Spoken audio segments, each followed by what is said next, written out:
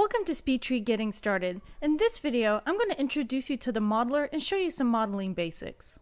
For demoing purposes, I'm going to start off by making a really basic tree. I'm going to do this by going to our generation window, right-clicking, going to Add Geometry to Selected, and selecting our trunk generator. You can also add generators by going to the Add icon in the Generation toolbar, or going to the toolbar above the viewport and selecting the tree with the plus sign icon. Now I'm going to edit my trunk.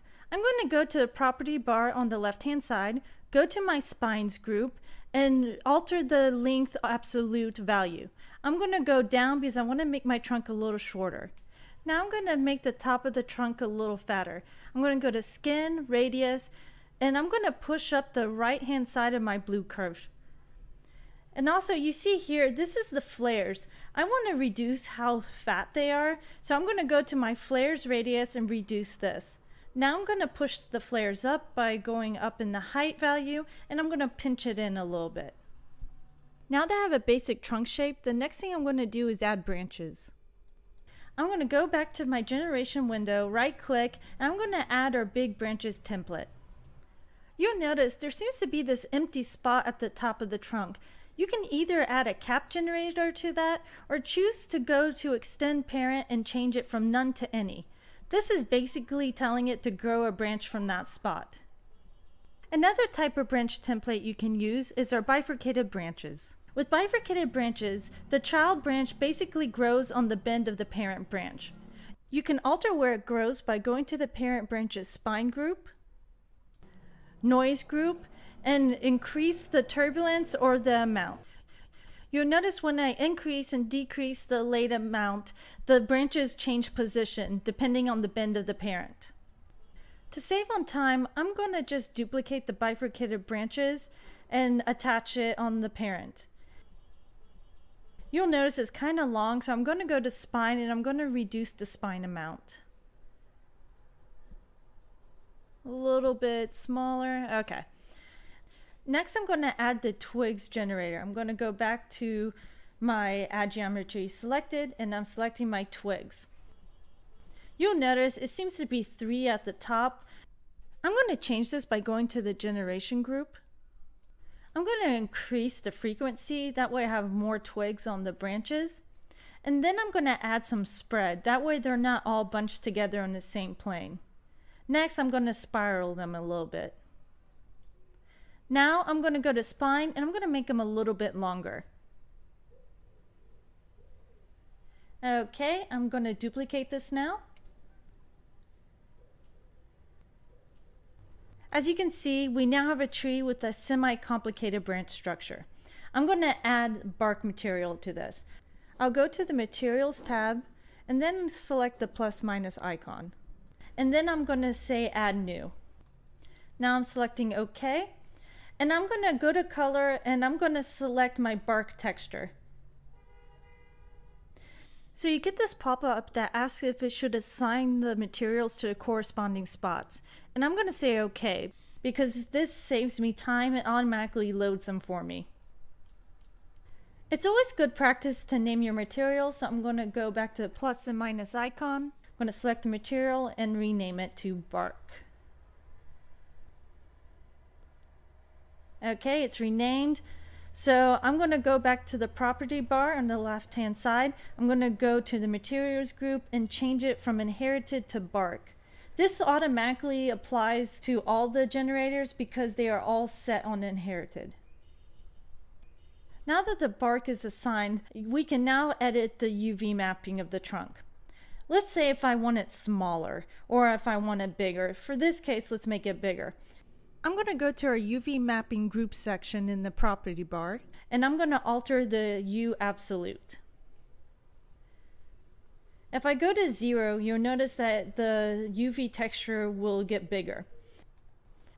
But if I change it to two, you'll notice that the amount of times it wraps increases.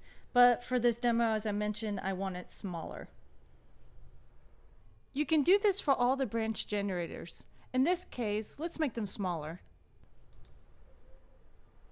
Okay, time to add the leaves. So I'm going to go to my generation window, right click, go to add geometry, and I'm going to choose our branch leaves generator. I'm using branch leaves because it computes a lot faster than leaf mesh generator. The reason is because in leaf mesh, it stores the data so you can node edit. However, in branch leaves, it doesn't. You will also notice that the default mesh created for the leaves is this flat plane. So if you want to incorporate your own mesh, you can import it, or you can actually create your mesh inside the SpeedTree modeler. So now to add a leaf material, I'm going to go to the plus minus icon and select add new. I'm going to rename this leaf. Press OK. I'm going to select my leaf material. It's going to load. I say OK. And I'm going to decrease the gloss a little bit. To apply the material, I'm going to go to the leaves group in our property bar and change it from none to leaf material. So you'll notice that in our leaves, there seems to be these areas where the texture isn't applied. That is because two-sided isn't enabled in the leaf material. Once you enable two-sided, it applies the material to both sides of the mesh. You can see I increased the amount of leaves, so now I'm going to add a mesh to the leaves. I can do this by going to the leaf material in the material tab and then selecting this edit button right here. As you can see, an edit cutout window will appear. This basically allows me to cut out a mesh in the material that I selected edit in. I'm now going to cut out a mesh to the leaf material.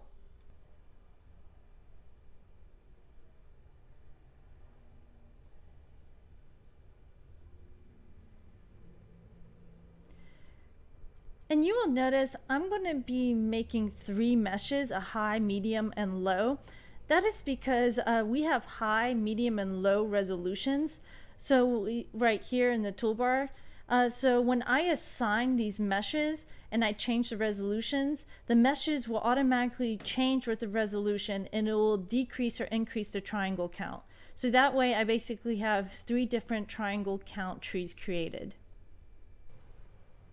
Let me just finish this low. Okay. Here are leaves on the tree. You can see the mesh is automatically applied. It's not those planes.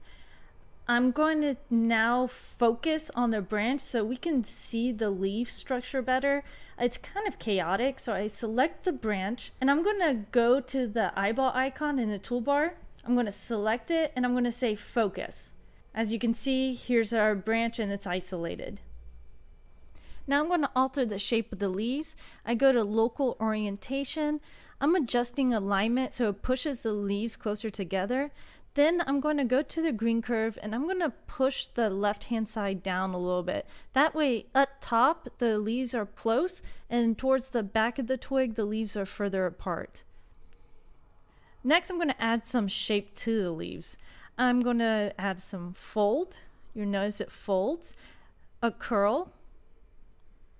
I'm going to adjust the green curve to, so it curves in one direction towards the tip and then another direction towards the bottom. I'm going to add a small twist value. And the plus and minus is variance. I'm going to add a variance on all the leaves. That way it breaks up the repetitiveness. I usually tend to keep it around 0.1 to 0.2. Let's just add them.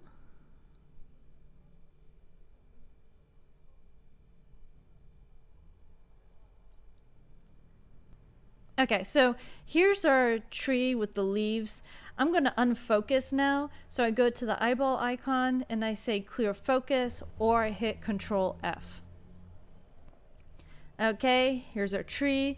I'm now gonna reset the camera. Now that's all set up, I'm going to apply Wind. I'm going to go to Tools in our menu bar and I'm going to click Wind Wizard. It basically sets the controls for you. Uh, you can choose from the different templates. I'm going to choose Ornamental Cultivated Tree.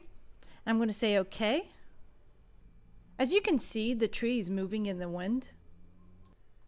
Now let's say you didn't like something about the tree movement. You can click on the fan icon. Uh, let's say the trunk. The trunk seems to move a lot in this tree. I'm going to go to my settings and I'm actually going to alter the shared parameters. The shared is applied to the whole tree. You notice trunk doesn't have one enabled. So I'm just going to decrease these parameters so the trunk doesn't move as much. Okay. And you see we have uh, four levels of wind. Those correspond with the levels applied to the branches, one, two, three, four. And if you want to alter the leaf movement, you will go to the leaf motion. You can alter the bend, the frequency, the flutter of the leaf. So you have a lot of options. I'm going to disable the wind now. Uh, here's our tree. It's basically done. Uh, the last thing I'll do is apply ambient occlusion. I go to the post group and I'm going to select the three ball icon. This computes the AO.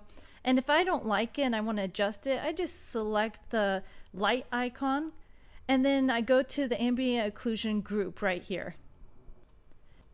That is it for our video. I hope this gives you a better understanding of the modeler and its tools. You can find more information in our documentation, and you can find more tutorials on our YouTube page.